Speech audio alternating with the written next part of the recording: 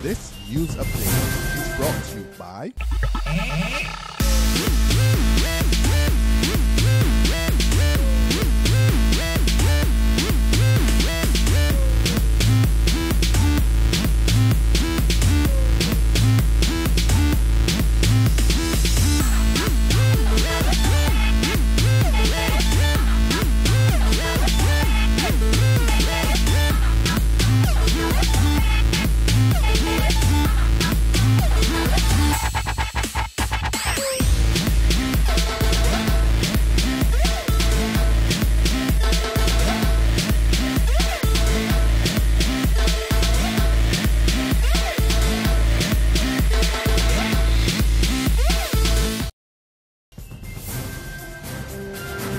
the noon Barbados Today update for Wednesday, August 20th, 2014. I'm Don Paris. Good afternoon.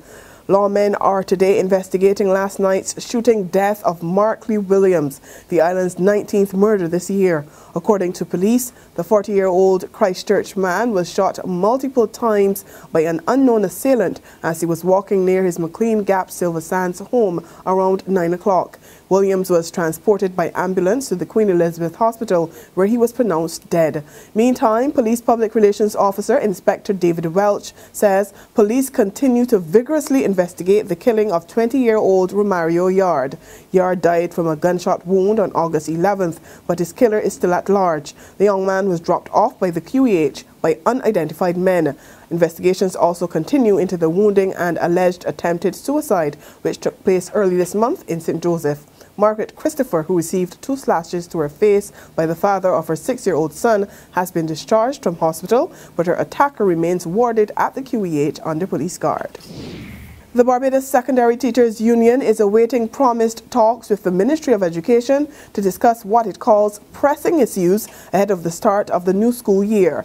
President Marianne Redman tells Barbados Today the usual quarterly discussions between the two sides is yet to take place and they're particularly anxious for a meeting to discuss the status of teachers. She says those issues include appointments, the status of temporary and part-time teachers, as well as matters of an industrial relations nature.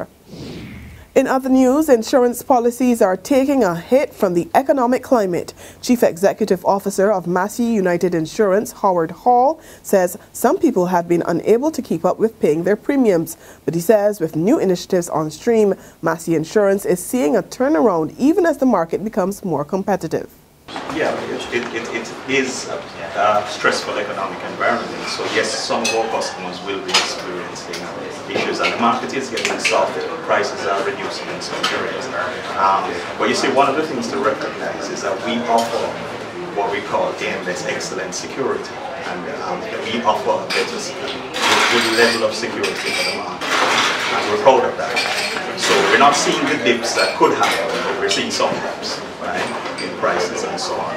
Uh, on the positive side, we're seeing by the bringing together of all these initiatives, we're seeing some growth, you know, some growth in the customer base, new customers and so on, which is a positive side for us. In sports now, it's official. Otis Gibson is no longer the head coach of the West Indies cricket team. According to a WICB statement, the two sides mutually agreed to part ways with immediate effect. Gibson has worked with the regional side for the last four years, with the Windies winning 29 tests and 36 one-day internationals under his tenure. The WICB has appointed team manager Richie Richardson to work with the team in the interim. Gibson's departure comes as the Windies begin a three-match limited overs international series against Bangladesh, now underway in Grenada. There's regional and international news after this short break. Hi, I'm Red Plastic Bag. Anyone who knows me knows I don't like cold.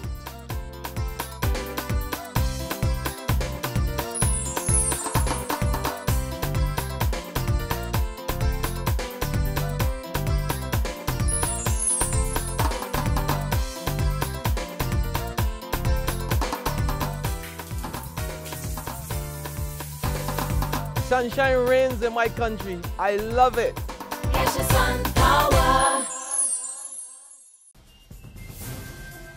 We continue with news from the region now. Extreme drought conditions in Jamaica could lead to unusual measures being implemented at schools when the new term opens.